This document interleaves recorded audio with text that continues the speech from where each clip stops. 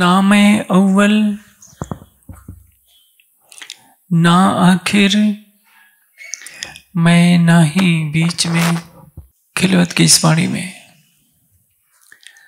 प्राणेश्वर अक्षरतीत हमारी आत्मा को प्रबोधित कर रहे हैं। इस कथन के द्वारा महामती जी के तन से कलवा कर,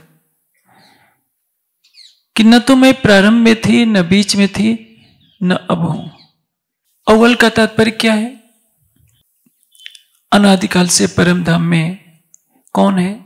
एक राज्य लीला रूप में हम देखते हैं तो सखियाँ दिखाई देती हैं, श्यामा जी दिखाई देती हैं परम धाम के पच्चीस पक्ष दिखाई देते हैं, खूब खुशहालियाँ दिखाई देती हैं। जिस माया के संसार में हम बैठे हैं उस संसार के अनुसार परम धाम की लीला को समझाने का प्रयास किया जाता है। क्योंकि यदि यहाँ के भावों से न समझाया जाए तो किसी को परम धाम की बात समझे, समझ में ही नहीं आ पाएगी। एक स्वलीला अद्वैत के रहस्य को समझाना है। इस संसार में एक राजा होता है, उसकी महारानी होती है। राजा अंतरपुर में महारानी के साथ जब रहता है तो वहाँ कोई सैनिक नहीं रहेगा, प्रधानमंत्री नहीं रहेगा, कोई नहीं रहेगा। राजा के कई सेवक होते हैं, महारानी की कई सेविकाएँ होती हैं, अच्छे महल होते हैं, ये माया के संसार में होता है। लेकिन जब परम धाम की आप चर्चा नहीं पढ़ते हैं तो इसकी कुछ झलक मिलती है। तो मन में स्वाभाविक रूप से प्रश्न खड़ा होता है, क्या परम धाम में भी ये सब है? परम धाम में कोई कुछ नहीं है। ना अर्श जिम ये दूसरा कोई और धरावी ना ये लिख्या वेद कते में कोई ना ही खुदा बिन का परम धाम में कोई भी दूसरा नहीं है। किंतु वाणी का अवतरण होते समय स्वयं महामती जी के तन से कहा जा रहा है कि अर्शव का वर्णन किया, ले मसाला इत का यहाँ का मसाला, यहाँ के दृष्टांतों से परम धाम को मैं समझाने का प्रयास कर रहा हूँ। दृष्टांत भी क्या? जैसे कह दिया कि परम धाम पचास करोड़ योजन है क्योंकि भागवत में पृथ्वी का परिमाण पचास करोड़ योजन लिखा गया है तो कह दिया कि परम धाम भी ऐसा है। वास्तविकता है कि ऐसा नहीं है। परम धाम के एक कोष में ही यह सारी सृष्टि समा जाएगी। चौदह लोगों के इस ब्रह्मांड जैसे असंख्यों चौदह लोग परम धाम के एक कोष के अंदर समा जाएँगे तो परम धाम का तो कोई विस्तार ही नहीं हो सकता। इंतहाय नहीं अर्शभूम का सब चीज़ों नहीं सीमार, वो परम धाम नहीं जिसकी कोई सीमा हो जाए। आप परिक्रमा में पढ़ते हैं एक एक मोमिन के अलेखे सेवक। सेवक शब्द क्यों है? सेवक शब्द तो पुलिंग होता है। जब परम धाम में हम कहते हैं कि केवल पिया पिया तू ही ही है तो पुरुष भाव कहाँ से आ गया? यह तो वर्णन नहीं किया गया कि शेरनिया है, शेर भी है, हाथी भी है, बाघ भी है बागिन भी है, सब कुछ है। क्योंकि इस दुनिया में ऐसा होता है। लेकिन सबके अंदर भावना क्या है? केवल तू की भावना है। स्त्री पुरुष के शरीर से परे की स्थिति है। हम माया के संसार में हैं, माया के तनों को देखते हैं तो हमें क्या लगता है कि वह स्त्री है, वह पुरुष है। इस बात को जो डॉक्टर होते हैं, आज का आधुनिक विज्ञान अच्छी तरह से जानता है और हिंदू धर्म ग्रंथों में भी इसकी अच्छी तरह से व्याख्या की गई है। हर स्त्री के अंदर पुरुष बैठा होता है, हर उस पुरुष के अंदर स्त्री विद्यमान होती है। जब माता पिता संतान उत्पत्ति करते हैं तो जिसमें जो तत्व कम या अधिक होता है, उसी के अनुसार उसकी शरीर रचना होती है। इसको मेडिकल साइंस की भाषा में एक्स एक्स वाई वाई या जो भी कहते हैं एक्स वाई के प्रयोग से, संकेत से समझा जाता है। आप सोचिए, जीव तो वही है। कभी स्त्री की आकृति धारण कर लिया, कभी पुरुष की आकृति धारण कर लिया। परम धाम को समझने के लिए आकृति से परे होना पड़ेगा। आपको दिल को समझना पड़ेगा। एक ही राज्य का दिल सभी रूपों में क्रीड़ा कर रहा है, तब तो वहदत होगी। यदि माया के संसार की तरह भेदभाव की लकीरें खींच जाएँगी तो वहदत का सिद्धांत क्या होगा? इस संसार में यहाँ जितने सुंदर साथ बैठे हैं, किसी का चेहरा किसी से मेल नहीं खाएगा। किसी के विचार किसी से पूरी तरह से मिलेंगे नहीं। न स्वभाव मिलेगा, न रूप रंग मिलेगा, न विचार मिलेगा। लेकिन परम धाम का क्या भाव है? कि परम धाम की हर वस्तु में समान सुंदरता है, समान प्रेम है, समान आनंद है। इसलिए राज्य कभी भी निर्णय नहीं कर सकते थे स्वयं भी कि किसका इश्क बड़ा है और यही माया के खेल का कारण बना। उस खिलवत की हमें आज पहचान कराई जा रही है कि उस खिलवत में कौन है? इस माया के संसार में भी दो व्यक्तियों में प्रेम कब होगा? जब दोनों अपने अहंग को समाप्त कर देंगे। एक छोटा बच्चा है पाँच वर्ष का। यदि आप उसके हृदय का सच्चा प्रेम चाहता है तो आप करोड़पति भी होंगे, आप उसके दादा भी होंगे। कहेगा कि दादाजी, आप घोड़ा बनिए, मैं आपके आपके ऊपर चढ़ूँगा। आप उसका दिल लेना चाहते हैं तो आपको घोड़ा बनना पड़ेगा, नहीं तो आपके ऊपर बैठेगा नहीं और दिल से आपसे बात नहीं करेगा। जो घर का सबसे बड़ा मुखिया है, उस बच्चे का पिता भी जिस दादा के पैर छूता है, वो छोटा बच्चा कहता है कि मैं आपके पास तब आऊँगा जब घोड़ा बनकर मुझे पीठ पर चढ़ाओगे तो। और दादाजी बच्चे के स्नेह में, मोह में घोड़ा बनकर कहते हैं कि अच्छा बैठ जाओ। ये संसार की लीला है। परम धाम की वहदत में, परम धाम की खिलवत में प्रवेश करने से पहले आपको इस संसार का अस्तित्व भुलाना पड़ेगा। अक्षरातीत ने तो पहले ही कर रखा है। अक्षरातीत ने अपने ही दिल का अनेक रूपों में प्रकटीकरण कर रखा है। उनका ही दिल श्यामा जी है। उनकी ही दिल की स्वरूपा सखियाँ हैं। उनकी दिल की स्वरूपा खूब खुशहालियाँ हैं पस पक्षी हैं, परम धाम के पच्चीस पक्ष हैं। अपने ही तनों को राज्य स्वयं दूसरे तन के द्वारा रिझा रहे हैं। राज्य को कौन रिझा रही है? श्यामा जी। श्यामा जी और राज्य को कौन रिझा रही है? सखियाँ। सखियों को कौन रिझा रही है? खूब खुशहालियाँ। खूब खुशहालियों को कौन रिझा रहा है? परम धाम के पच्चीस पक्ष। और जितने पशु पक्षी हैं, सब रिझा रहे हैं। सभी एक दूसरों को रिझा रहे हैं। लेकिन राज्य के अतिरिक्त अन्य किसी को भी यह पता नहीं है कि ये सभी मेरे ही रूप हैं। केवल राज्य जानते हैं कि मेरा ही दिल सभी रूपों में क्रीड़ा कर रहा है। जब माया की दुनिया में उस परम धाम की व्याख्या को बताने की बात आती है तो यहाँ विवश होकर खूब खुशहालियों का नाम लेना पड़ता है। विवश होकर पशु पंक्षी शब्द कहने पड़ते हैं। विवश होकर यहाँ सेवक और सेविकाएँ की बात आती है। पुतलियाँ क्या है? पुतलियाँ तो सेवा करती हैं। क्योंकि आप सेवा की, सेवा के संसार में आप आए हैं। यहाँ एक साहेब है और एक उसका सेवक है। स्वामी और सेवक की दुनिया है। परम धाम में न कोई स्वामी है, न कोई उसका सेवक है, न कोई सेविका है। सभी एक दूसरे पर स्वयं को निछावर कर रहे हैं। जब खिलवत की बात आती है तो इस संसार में खिलवत का रूप ऐसा देखा जाता है जहाँ राजा स्वयं को जाकर अपने के राजा होने का अभिमान छो, छोड़ दे। तो जब राजा को अपना राज सिंहासन का अस्तित्व भूल भुलाना पड़ता है तो सोचिए आपको भी तो भूलना पड़ेगा कि आप कुछ है। मैंने कई बार चर्चा में इस दृष्टांत को दिया है कि अकबर को जब अपने रंगमहल में गए अंतपुर में, जिसको खिलवत कहते हैं तो अकबर की बेगम ने कह दिया, हँसते हुए आइए मूर्खराज अब एक अकबर बादशाह पूरे देश का, उसकी पत्नी उसको मूर्ख राज क्या मूर्ख राज का अर्थ क्या होता है? मूर्खों का राजा।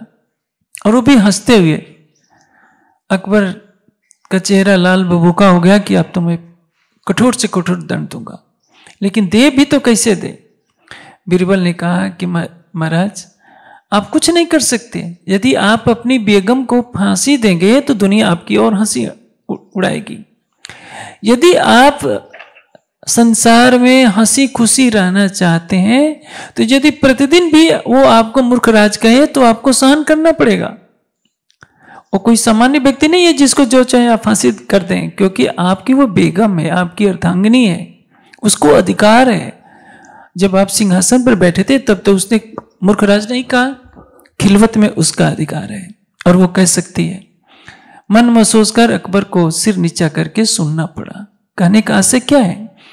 जिस खिलवत में जाने पर अकबर को भूलना पड़ता है कि मैं पूरे देश का बादशाह हूँ मूर्खराज कहलाता है, सिर नीचा करके सुनता है तो आप समझिए यदि अकबर बादशाह अपना आंग छोड़ सकता है तो उस प्रेम की भूमिका में अक्षरातीत जो कहते हैं कि असिक मेरा नाम, रुल्ला असिक मेरा नाम, मैं असिक हूँ। असिक किसको कहते हैं? जिसके रूम रूम में मासूक बसता है, वह असिक है।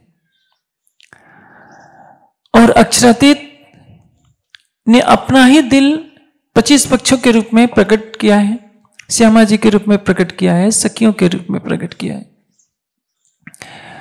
हम सुंदर साथ माया की इस दुनिया में जब आए हैं तो हम सुंदर साथ आप देखिए, हम किन किन बंधनों में फंसे हैं।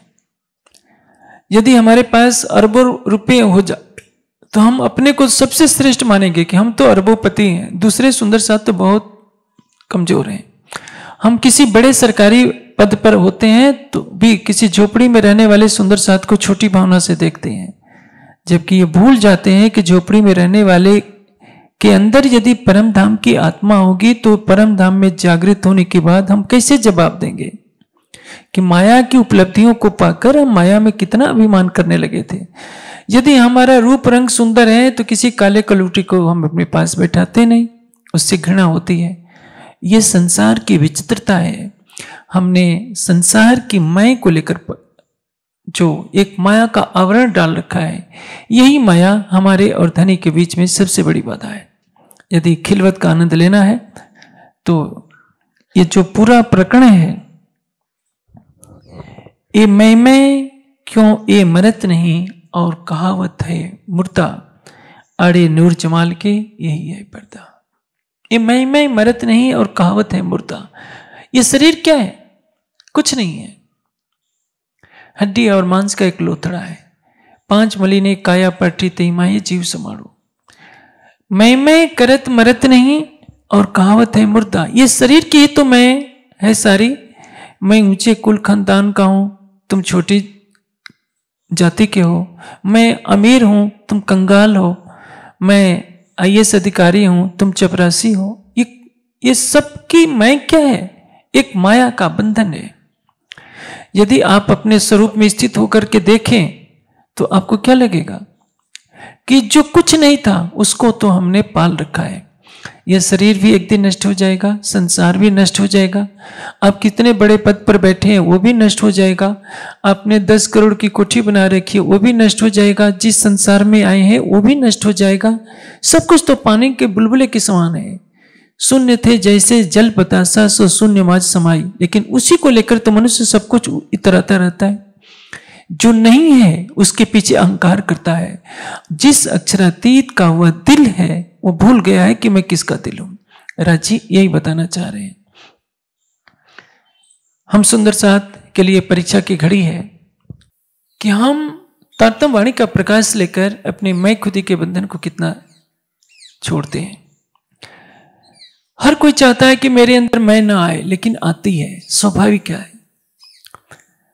आपके पास शरीर का सौंदर्य होगा तो देखने में तो दिखेगा, आपके मन में भाव आएगा कि मैं सुंदर हूँ। आपके पास धन होगा तो उसका भी भाव आएगा कि मैं धनवान हूँ। आप ऊँचे कुल खानदान में पैदा हुए हैं तो उसको, आपको बताया जाएगा कि तुम इस कुल के हो तो ये भाव बना रहेगा।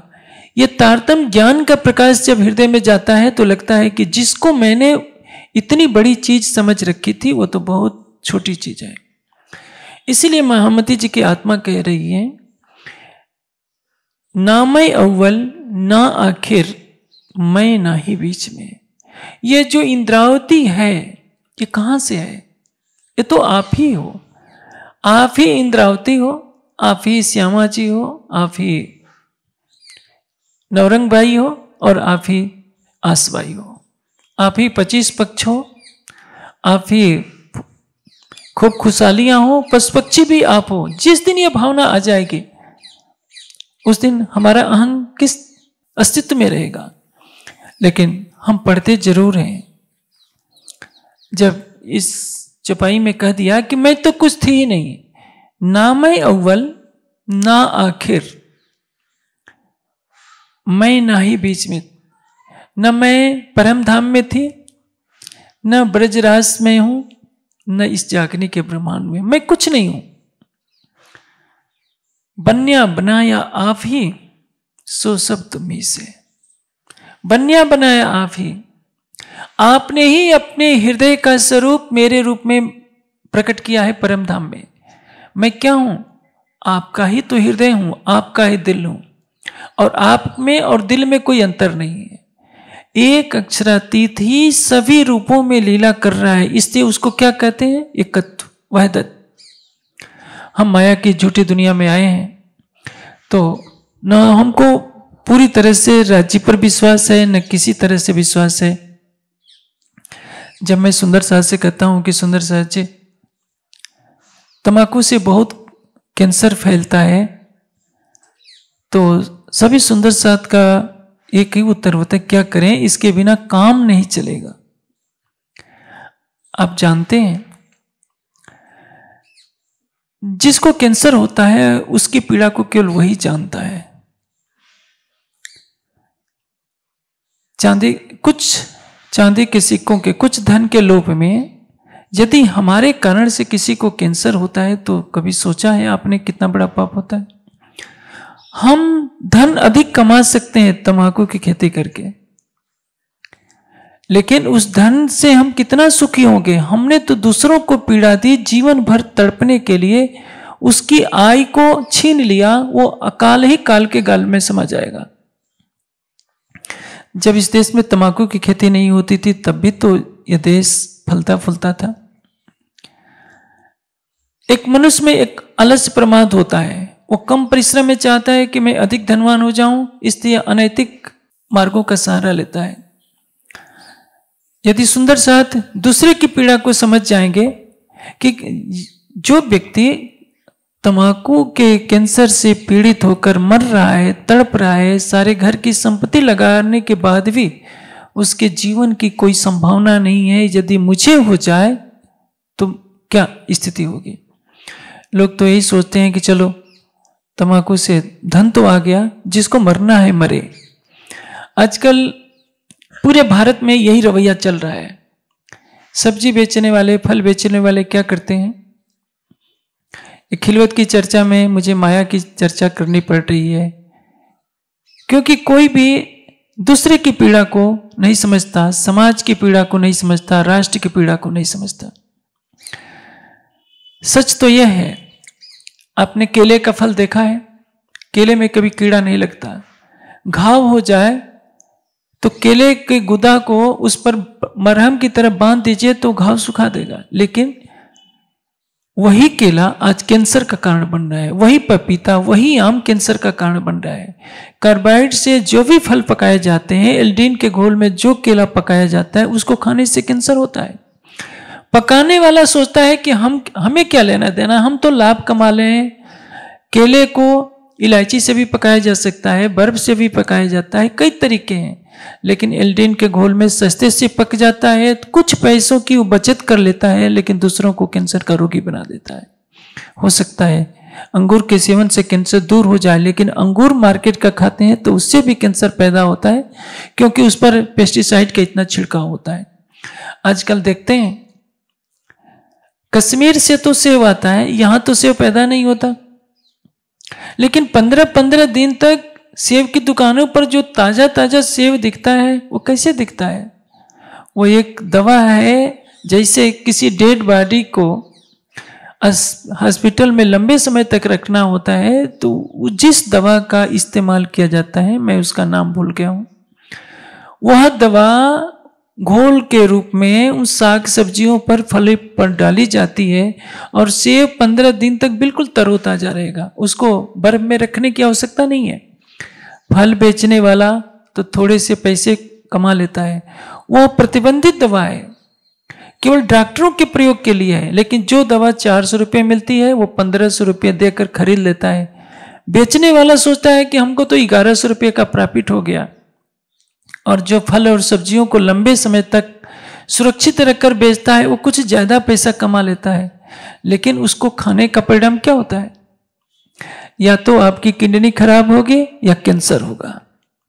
जो आप मार्केट से सब्ज़ी खरीद रहे हैं, उसमें अधिकतर में जो रंगी हुई सब्ज़ियाँ दिख रही हैं, तरोताजी, ये सुंदर सुंदर सेब का फल दिख रहा है। यदि सेब प्रतिदिन एक आप शुद्ध खाएँ तो क्या होगा? कोई रोग नहीं होगा?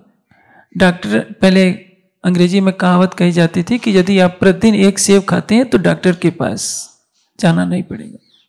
लेकिन आज उसी सेब को खाएँगे तो डॉक्टर के पास जाना पड़ेगा और वो भी कैंसर का रोगी बनकर के जाना पड़ेगा। मेरे कहने का इससे क्या है? ये सब्ज़ी बेचने वाले, फल बेचने वाले, थोड़े से लोभ में दूसरों को किडनी का कैंसर का रोगी बना रहे हैं। उनकी पीड़ा का पता नहीं कि जो, जब गुर्दे खराब हो जाते हैं तो सिग्नल बच जाता है कि अब दुनिया में आप दो तीन साल के ही मेहमान हैं। सुंदर साथ को से मैं निवेदन करूँगा। ठीक है, यदि आप तंबाकू की खेती छोड़ते हैं तो आपको पैसों का काल पड़ेगा। लेकिन आप राज्य पर विश्वास कीजिए कोई दूसरा रास्ता निकल सकता है और चीज़ों से भी पैसा कमाए जा सकते हैं। लेकिन आपके तंबाकू के पैसे से आपको लाभ मिलता है किसी सुंदर साथ को रोग हो गया और कैंसर के कारण तड़प तड़प कर मरा क्योंकि तंबाकू यहाँ ही तो नहीं खाया जाता है पूरे देश में खाया जाता है। और मैं जानता हूँ कि मेरे कहने से कोई खे, खेती बंद करने वाला नहीं है। लेकिन यदि हम हमारे इस गुनाह का प्रायश्चित करना पड़े तो हम कैसे प्रायश्चित कर सकते हैं? क्योंकि हमारे लोभ के कारण कोई व्यक्ति रोगी होता है। लेकिन हर कोई सोचता है कि मैं कर रहा हूँ। इसलिए ये वाणी क्या कहती है कि मेरी मेरी करत दुनी चाहते बोझ ब्रह्मांड सिर लेवे। पाव पलक का नहीं भरोसा तो भी सिर सर्जन को न देवे। मैं ही घर चला रहा हूँ, मैं ही समाज चला रहा हूँ, मेरे बिना कुछ नहीं होगा। ये सोच भ्रांति है। शिष्ट को चलाने वाला कौन है? एक अक्षरातीत। आप अक्षरातीत पर विश्वास रखिए। मन, वाणी और कर्म से कभी किसी तरह का अहंग न पालिए, क्योंकि यही अहंग हमारे और धनी के बीच में सबसे बड़ा पर्दा है। आड़े नूर जमाल के यही है पर्दा। तभी महामती जी की आत्मा कह रही है कि राज़ी मैं तो पहले भी नहीं थी, अभी भी इंद्रावती नहीं है और भविष्य में भी नहीं रहेगी। यह कौन बोलेगा? जो प्रेम में समर्पित हो गया। और हमें तारतमवाणी का प्रकाश पाकर राज्य के प्रेम में समर्पित होना है। आप देखेंगे कि छत्रसाल जी कुशरी जी के स्वरूप पर पहचान होती है। तो क्या कहते हैं? यही टीका, यही पावड़ो, यही निछावर आए। श्री प्राणनाथ के चरण पर छत्ता बलि बलि जाए। छत्ता तब तक है जब तक प्राणनाथ है। और प्राणनाथ अनादिकाल से हैं अनंत काल तक रहेंगे। जब आपको यह विश्वास हो जाएगा कि मैं परम धाम की आत्मा हूँ तो सारे संसार के कष्टों से लड़ने की शक्ति आपको हो जाएगी। आप निराश क्यों होते हैं? क्योंकि आप मिट्टी के तन को देखते हैं। जिस मैं को लेकर आप खुश होते हैं कि मेरे जैसा कोई नहीं, मेरे जैसा कोई बुद्धिमान नहीं, मेरे जैसा धनवान नहीं, मेरे जैसा कोई सुंदर नहीं, वही मैं की भावना आपको कमज़ोर कर देती है। मोमिन बल धनी का दोनों तरफ़ से नाय तो कहे धनी बराबर, जो मूल स्वरूप है माए जो मूल स्वरूप है धाम के माए आपका मूल स्वरूप क्या है? परात्म परात्म क्या है? राज्य का ही स्वरूप तो है। आप इस संसार की मय को हटा देंगे तो क्या बन जाएँगे? आत्मा। और आत्मा किसकी नज़र है? परात्म की। परात्म क्या है? राज्य का स्वरूप है। इसलिए आप में कितनी शक्ति है जो राज्य में है? लेकिन शरीर की भावना से नहीं। शरीर की भावना से तो आप कुछ भी नहीं है। आपको किसी न किसी पर आश्रित होना पड़ता है। देखिए, इस संसार में श्यामा जी की आत्मा आती है। तो श्यामा जी को भी चालीस वर्ष की अवस्था तक कहाँ कहाँ भटकना पड़ता है? हरिदास जी की सेवा करनी पड़ती है, उनके जूठे बर्तन माजने पड़ते हैं। किन किन पंथों में जाना पड़ता है? कई कसौटी करी दुल्हन, सो भी खातिर हम सब सैयन लेकिन वही श्यामा जी की आत्मा जब राज्य को पा लेती है, उस तन में राज्य बैठ कर लीला करने लगते हैं तो हरिदास जी को आकर के स्वयं श्री देवचंद जी से तारतम लेना पड़ता है। वही श्यामा जी की आत्मा जब दूसरे तन में प्रवेश करती है तो सारा संसार उन्हें पूर्ण ब्रह्म सच्चिदानंद के रूप में मानता है। कब? जब शरीर की मैं हट जाती है, तब। संसार की मैं हट जाती है, तब। जब तक श्यामा जी को आभास है कि मैं देवचंद्र हूँ, तब तक देवचंद्र जी को हरिदास जी के चरणों में जाना पड़ता है। जब देवचंद जी हट जाते हैं, शरीर हट जाता है, संसार हट जाता है तो कौन बचता है? मैं श्यामा हूँ। तो जो श्यामा जी हैं, वो तो राज्य का दिल है। जब मिहिराट हट गए, संसार हट गया तो मिहराज श्री राज बन जाते हैं। मैं तो आपा दे रही, तुम भी रख्या जीव। बलदे आप खड़ी करी कुछ कार्य अपने पीव, लेकिन यही तो नहीं हट सकता। यही सबसे बड़ा मोह का बंधन है। मनुष्य सब कुछ कर सकता है, अपने अहंग को नहीं छोड़ सकता। इन में डूबया सब कोई या क्यों पार न पावे को या को पार सुपाव ही जाको मुतलक बख्शीस हो सबसे बड़ी कृपा है तो मैं के बंधन को छोड़ना। अपने चर्चा में कई बार सुना है, यही मैं खुद ही टले तो बाकी रहे या खुदा। लेकिन मैं को छोड़ने का प्रयास हर कोई करता है। शिष्ट के प्रारंभ से ही सबने चाहा है कि मेरे अंदर अहंकार न हो। कोई बहुत विनम्र भी बन जाएगा सेवा भावी भी बन जाएगा तो भी उसके अंदर यह भाव रहता है कि मैं तो सेवा करता हूँ। मेरे अंदर कोई अहंकार नहीं है। अहंकार को छोड़ने का भी अहंकार पीछा करता रहता है। यह सबसे बड़ा रोग है। आप, कोई आपको हँसी में कह दे, आपको तो अहंकार है तो आप तुरंत जवाब देंगे, अरे, मैंने तो अहंकार को फेंक दिया है आपको। पता है, मैं सबको, मैं स्वयं को सबकी चरण धूली मानता हूँ, मैं आपकी चरण धूली हूँ और आप नाटक करने के लिए पैर पकड़ लेंगे। आपके अंदर तो अहंकार इस बात का है कि मैंने अहंकार को जीत लिया है। इसको भी छोड़ना होगा, तब आप अहंकार के सच्चे विजेता बनेंगे, क्योंकि आप हार और जीत से परे हैं। आप छोड़ने या ग्रहण करने से परे हैं। आप कौन हैं? आप परात्म स्वरूपा हैं। परात्म जहाँ है, वहाँ इस संसार की कोई मैं नहीं जाती। न पाप जाता है, न पुण्य जाता है, न धर्म जाता है, न अधर्म जाता है, न अच्छा जाता है, न बुरा जाता है। अच्छा बुरा अच्छा बुरा, पाप, पुण्य, धर्म, अधर्म, नियम, निषेध, सब कुछ इस संसार में होते हैं। जो त्रिगुणातीत मार्ग है, उसमें इन प्रपंचों का कोई अस्तित्व नहीं होता।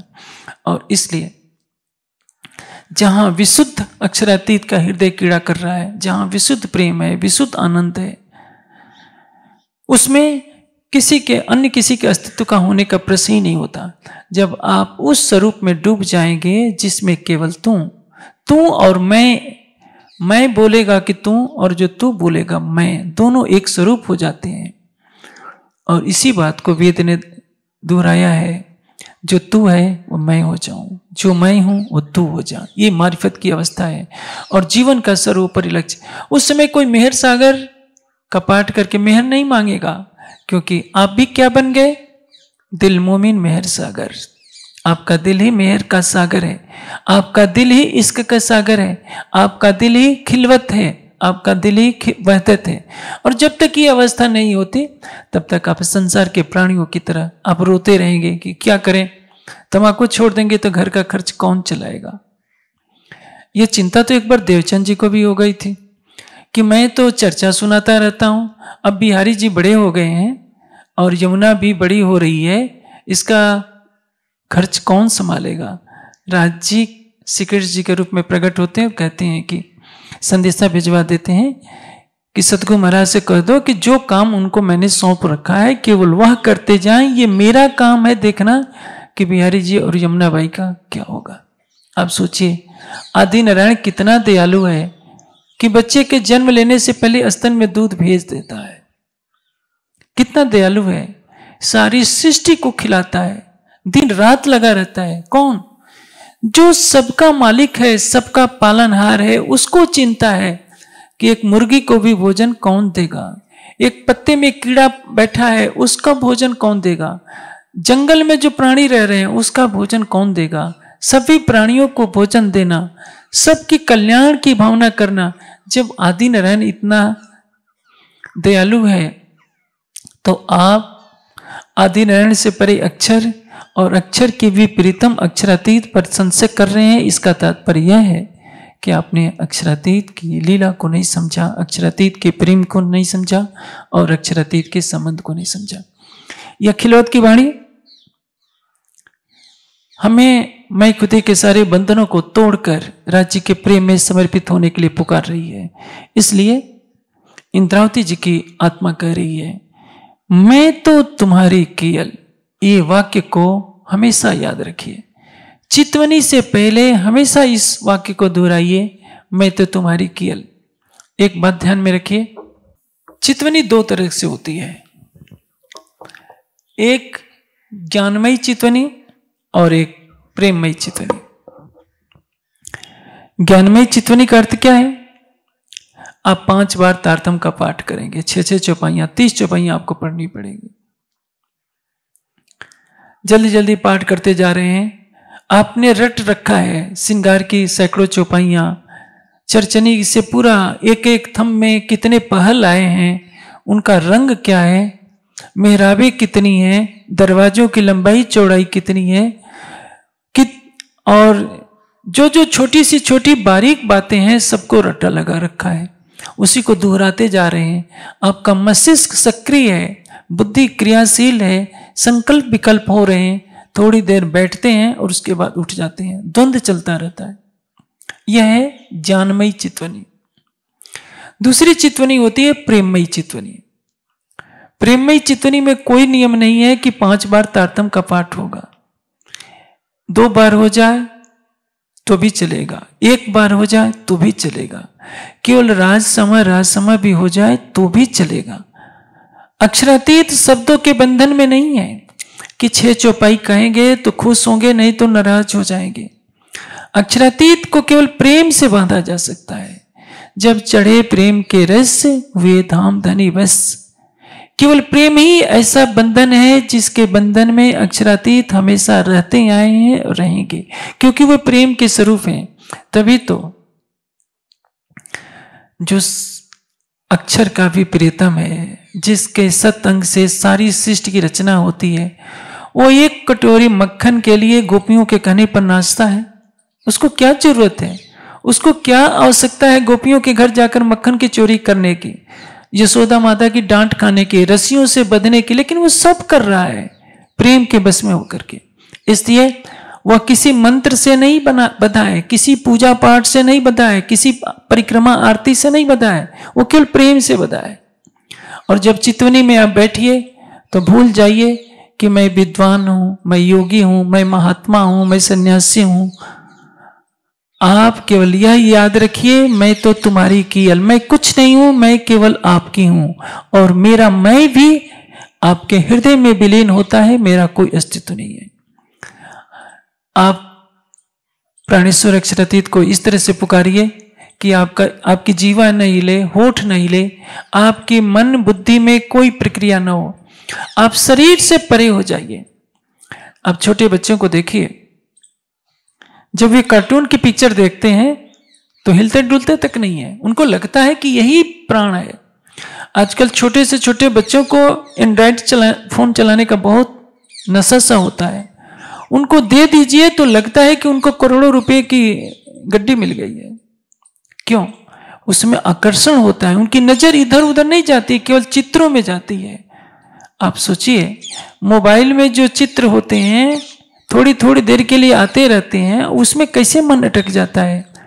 आपका प्राणेश्वर कितना सुंदर है, आप सोच नहीं सकते। जितने सौंदर्य की कल्पना कर सकते हैं आप फूलों की कोमलता से भी अनंत गुना कोमलता उसमें है। चंद्रमा की शीतलता से अधिक शीतलता उसमें है। लाल कमल की जो सुंदरता है, उससे अनंत गुना सुंदर राज्य का मुखारविंद है। इस सौंदर्य को देखते समय आपके मुख से तो जप भी कैसे हो पाएगा? मुझे तो नहीं लगता कि आप उस समय राज हमारा समा भी कह पाएँगे। उस विरह की ज्वाला को अपने अंदर प्रज्वलित कीजिए। और ये तभी होगा भावों से। और जब भाव होते हैं तो हृदय में जहाँ तक मैं समझता हूँ, कोई शब्द नहीं उठ सकता, कोई विचार नहीं उठ सकता। आप पहले तो शरीर से परे होने की आदत डालिए। शरीर से परे होने का तात्पर्य इस तरह से बैठिए कि शरीर हिले डुले नहीं। यदि आप उत्तेजक आहार करते हैं, आप सोचते हैं कि राजन स्वामी जब आता है तो हमारे भोजन पर लगाम लगा देता है। सरसवा में इस बार गुजरात के सुंदर साथ बहुत थे और आपको पता है कि वहाँ की रसोई में कड़क चाय नहीं मिलती। तो तांता लगा रहता था गुजरात के सुंदर साथ, कितने तो शहर में जाकर पीते थे और वहाँ बाहर स्टॉल लगाना पड़ा, एक व्यक्ति ने लगाया, वहाँ भीड़ लगी रहती थी। चर्चा में आए चाहे न आए, कड़क चाय के लिए कड़क चाय की दुकान पर भीड़ लगी रहती है। इस अवस्था में तो आप बताइए, यदि आप चितौनी में बैठ भी जाएँगे तो कड़क चाय आपके मन को चंचल बनाएगी, आप शरीर से तो परे हो नहीं पाएँगे। लेकिन ये बेचारी जीवा आपको राज्य से दूर कर देती है। आप मेरे ऊपर ही आरोप लगाते हैं कि स्वामी जी हमारा सुख छीन लेते हैं। मैं आपका माया का थोड़ा सा सुख छीनता हूँ तो इसके बदले परम धाम का अखंड सुख की भी तो राह बताता हूँ, यह भी तो सोचिए। और ये जीवा ऐसी है। जानते हैं जीवा कितनी खतरनाक है? कड़वे बचन बोलती है और खुद अंदर छिप जाती है। भुगतना किसको पड़ता है? सिर को। डंडे किस पर पड़ते हैं? सिर पर।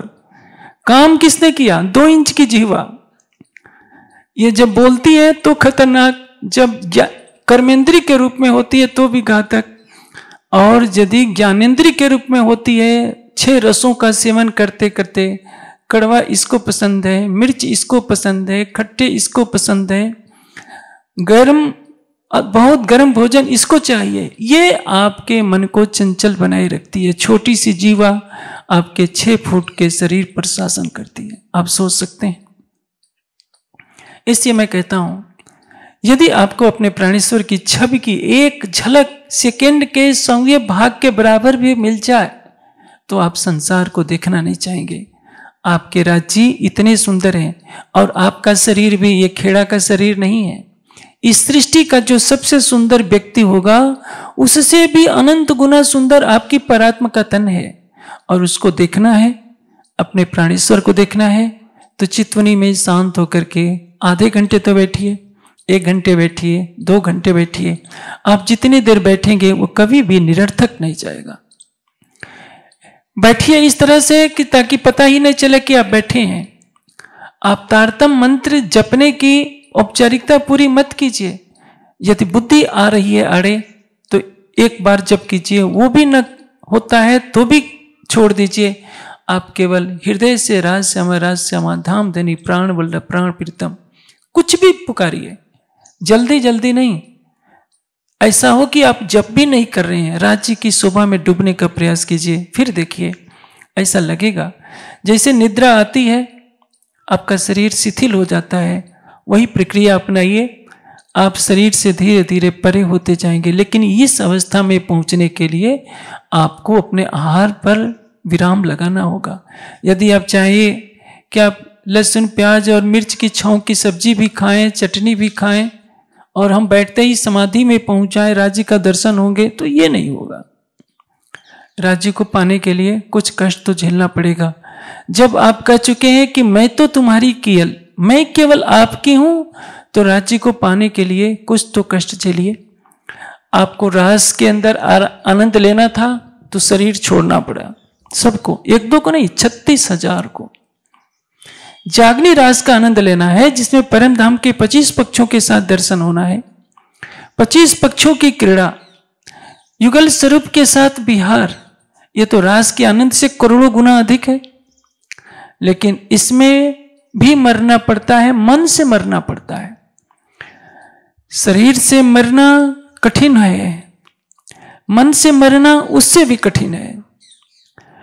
विरह का जोश था और सबने बांसुरी की आवाज़ सुनकर के शरीर छोड़ दिया। लेकिन 300 वर्षों से वाणी की बांसुरी बज रही है। कोई मन से मरने के लिए कोई बिरला तैयार होता है और जो मन से मर जाता है, वो परमहंस अवस्था को प्राप्त कर लेता है। मुझे खुशी है। अब धीरे धीरे बच्चे, युवा, वृद्ध, वयोवृद्ध भाई बहन सभी चितवनी में लग रहे हैं। भले ही सफलता मिल रही हो चाहे नहीं मिल रही हो, आप सफलता की आस की चिंता ही छोड़ दीजिए। एक चीज़ याद रखिए, जब तुम आप दिखाओगे, तब देखूँगी नई नज़र वर्जी। आप दिखाओगे तो मेरी आत्मा नहीं देखेगी। जो आपको इच्छा हो, वो कीजिए, क्योंकि मैं तो तुम्हारी कियल। जहाँ मैं आप पर समर्पित हूँ तो जहाँ आप होंगे, वहाँ मैं रहूँगी। यही समर्पण ही तो राज्य के चरणों में ले जाएगा। आप जिसके हो जाएँगे एक चीज़ आपको मैं एक दृष्टांत देता हूँ, वो आपको समझ में आ जाएगी। पाँचों पांडव स्वर्ग आरोहण के लिए चलते हैं, हिमालय चल, पर चलते चलते। पहले सहदेव गिर जाते हैं। सहदेव गिरते समय आवाज़ पुकारते हैं कि भ्राताश्री मैं चला। आप मुझे छोड़कर क्यों जा रहे हैं? युधिष्ठिर पीछे नहीं देखते हैं। भीम पूछते हैं कि भ्राताश्री सहदेव ने हमेशा आपका साथ दिया है। वो गिर पड़ा है, पुकार रहा है। आप उसकी तरफ़ क्यों नहीं देख रहे हैं? क्यों गिरा? युधिष्ठिर उत्तर देते हैं कि सहदेव को अपनी बुद्धि का अहंकार था। आगे चलते हैं। नकुल गिर जाते हैं, वे भी पुकार लगाते हैं, लेकिन युधिष्ठिर तब भी नहीं देखते हैं। भीम पूछते हैं कि नकुल कैसे गिर गए? युधिष्ठिर कहते हैं कि नकुल को अपनी सुंदरता का अभिमान था। आगे चलने पर अर्जुन गिर जाते हैं। युधिष्ठिर से पूछते हैं, भीम, कि भ्राताश्री, अर्जुन तो इतने धर्मात्मा थे, कृष्ण के प्रिय सखा थे, वो क्यों गिर गए? कहते हैं युधिष्ठिर कि अर्जुन को अपनी वीरता का अभिमान था, अर्जुन अपनी वीरता आगे किसी को नहीं समझता था। आगे द्रौपदी गिर जाती है, द्रौपदी भी पुकारती है, युधिष्ठिर उसकी तरफ़ भी मुड़ करके नहीं देते, देखते हैं। भीम के पूछने पर युधिष्ठिर कहते हैं कि द्रौपदी पक्षपात करती थी, वह अर्जुन को अन्य भाइयों से ज़्यादा प्रेम करती थी, क्योंकि जब वो पाँचों की पत्नी थी तो पाँचों को बराबर प्रेम न कर भेदभाव करने के पाप से कुंती गिरती है, ये द्रौपदी गिरती है। थोड़ी देर के बाद भीम भी गिरने लगते हैं, कहते हैं कि भ्राता श्री, मुझे क्यों छोड़कर जा रहे हो? युधिष्ठिर कहते हैं कि भीम, मैं विवश हूँ। तुम्हें अपने बल का अभिमान था और इसी कारण तुम्हारा पतन हुआ। चलते चलते अब युधिष्ठिर के पैर का अंगूठा गल जाता है, क्योंकि उन्होंने भी कहा था अस्वस्थमा मरो नरो व कुंजरो। आप देखिए, ये पाँचों पांडव धर्मात्मा हैं, लेकिन थोड़े से थोड़े अंग के कारण इनका शरीर छूटता है, साथ में कुत्ता चल रहा है। स्वर्ग के द्वार पर कुत्ता जब जाता है तो द्वारपाल कहता है वहाँ कि आप इस कुत्ते के साथ नहीं जा सकते, क्योंकि ये स्वर्ग का द्वार है। युधिष्ठिर कहते हैं कि देखिए, यह कुत्ता जब से मैंने यात्रा प्रारंभ की है, मेरे साथ रहा है। यदि इसको मेरे साथ सदैव स्वर्ग में नहीं ले जाया जाता है तो मैं वापस चला जाऊँगा, मुझे स्वर्ग की आवश्यकता नहीं है। इसको कहते हैं न्याय। यदि कुत्ते को न्याय दिलाने के लिए, क्योंकि कुत्ता साथ में चलता है तो युधिष्ठिर मना कर देते हैं कि मैं तुम्हारे स्वर्ग का परित्याग कर दूँगा, लेकिन कुत्ता मेरे साथ रहा है तो इसको भी ले चलना पड़ेगा। आपने कभी सोचा है? ये घटना मैं क्यों सुना रहा हूँ? उस समय कुत्ते के रूप में धर्मराज थे, प्रकट हो जाते हैं और कहते हैं कि युधिष्ठिर, मैं तो तुम्हारे सत्य और न्याय की परीक्षा ले रहा था। युधिष्ठिर बैकुंठ के एक जीव हैं, कालमाया के जीव हैं। वे अपने कुत्ते को नहीं छोड़ सकते, उस कुत्ते को नहीं छोड़ सकते जो बिना परिचय के उनके साथ लग गया था। आप यदि राज्य के प्रति समर्पित हो जाएँगे तो क्या राज्य आपको छोड़ेंगे? कभी किसी ने सोचा है? सबसे बड़ा मंत्र है, मैं तो तुम्हारी केवल मैं केवल आपकी हूँ, मैं संसार की नहीं हूँ। जिस दिन ये समर्पण की भावना आपके अंदर भर जाएगी, आप अपना दिल राज्य को दे देंगे। राज्य चाहे कोरी से कोरी जीव सृष्टि भी क्यों ना हो राज्य उसको भी नहीं छोड़ेंगे। ब्रह्म सृष्टि को तो कभी सपने में भी नहीं छोड़ेंगे। कोरे से कोरे उस जीव को भी राज्य नहीं छोड़ेंगे। जो राज्य पर समर्पित होकर उनसे प्रेम करेगा। अतीत में जो कुछ हुआ, उसको अब भुला दीजिए। एक नया जीवन शुरू कीजिए, जिसमें वाणी के चिंतन की प्रधानता हो, चितवनी की प्रधानता हो राज्य पर अटूट समर्पण हो, अटूट विश्वास हो, ब्रह्मवाणी की ज्योति को सारे संसार में फैलाने का दृढ़ संकल्प हो। आपकी आत्मा पाप और पुण्य की परिधि से परे है। आप जो भी देखिए परात्म की नज़र से देखिए हाँ जीव भाव से ये प्रयास अवश्य कीजिए कि मेरे मन में कभी कोई पाप पैदा ना हो, मेरी बुद्धि में, मेरे चित्त में। दिख दिख, पढ़ो मेरे मन को, मेरे चित्त को, मेरे बुद्ध को, याद न किया धनी धाम। जहर जिमी से लग रही, भूली अटो जाओ। हमारा मन चित्त बुद्धि किसके लिए हो? केवल राज्य के लिए हो। इसी को कहते हैं, मैं तो तुम्हारी कियल अव्वल भी चौलहाल इस समय मैं केवल आपकी हूँ। पहले भी आपकी थी और भविष्य में भी केवल आपकी रहूँगी। यह संकल्प हमारी आत्मा को परम धाम के एकात्म भाव से जोड़ेगा। जब आप चित्र में बैठे तो इन्हीं शुभ संकल्प, संकल्पों के साथ अपना सर्वस्व राज्य के ऊपर सौंप दीजिए और एक चीज़ को याद रखिए, जो इस चौपाई के अगले चरणों में कहा गया है, तुम बिना जो कुछ देखत सो सब मैं आग की झाल। आपके अतिरिक्त जो कुछ है, वो आग की लपटों के समान कष्टकारी है। यदि मेरे अंदर भावना आती है, जैसे, सब सुंदर साथ के मन में एक प्रश्न आता होगा, कि बीतक की रचना किसने की? देखिए नवरंग स्वामी ने नवरंग बाणी में कई ग्रंथों की रचना की है। अठारह हज़ार से ज़्यादा चौपाइयाँ होंगी उसमें संभवतः। लालदास जी ने बीतक की रचना की चार हज़ार चार सौ कुछ चौपाइयाँ हैं। बड़ी वृत्त की रचना की है, बहत्तर माज्य की रचना की है। लालदास जी के तन तन से भी बारह हज़ार से ज़्यादा चौपाइयों की रचना हुई है। लेकिन सब में महामती की छाप है। नौरंग वाणी में नौरंग की छाप है। लालदास जी ने कहीं नहीं लिखा कि आसवाई कहे कहीं कहीं उन्होंने संकेत कह दिया है। अब लाल आगे की कहूँ जो झगड़े की बुनियाद। एक जगह कहते हैं कि तहा मैं मैं था। संकेत दे दिया, क्योंकि लाल दास जी की आत्मा ने समर्पण की पराकाष्ठा को पा लिया। अपना सब कुछ समर्पित कर दिया। लिख रहे हैं लालदास जी तन काम कर रहे हैं लालदास जी का। उनका अहंग श्री जी के प्रेम में विलीन हो चुका है, इसलिए कहा कि अब ये लालदास की कलम नहीं, ये महामती की कलम है। उनकी कृपा की छत्र छाया में लालदास तो अब समाप्त हो चुका।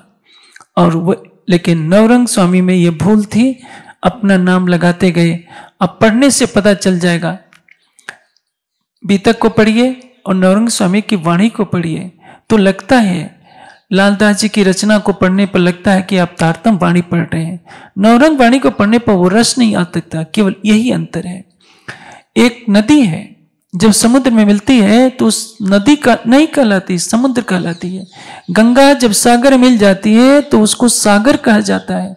आपकी आत्मा पर परात्म का श्रृंगार सजकर जब राज्य के प्रेम में डूबेगी तो क्या होगा? यही मैं खुद ही टले तो बाकी रहे खुदा। राज्य ने आपको अपना स्वरूप बनने का अधिकार दिया है, लेकिन यह तब होगा जब माया के बंधनों को आप तोड़ेंगे। आप शरीर नहीं है, आप इंद्रियाँ नहीं है तो इंद्रियों के सुखों के पीछे क्यों भागते हैं? क्योंकि ये सुख आपको धनी से दूर कर रहे हैं। महामती जी की आत्मा कहती है, इन इंद्रियन की मैं क्या कहूँ? ये तो अगुण ही की काया। इनसे क्यों देखूँ मैं साहब? यही भाई आड़ी माया। हमारी इंद्रियाँ हमारे जीव को माया की तरफ़ ले जा रही है।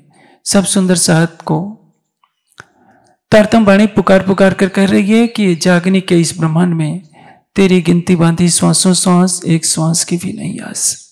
अब समय खोने का समय नहीं है। आपका हर पल अनमोल है और इस अनमोल समय को वाणी चिंतन में लगाइए, चितवनी में लगाइए, सेवा में लगाइए। और जितना हो सके ब्रह्मवाणी के प्रचार में स्वयं को झोंक दीजिए तो आप इतने धन धन होंगे और उतनी धन धन होंगे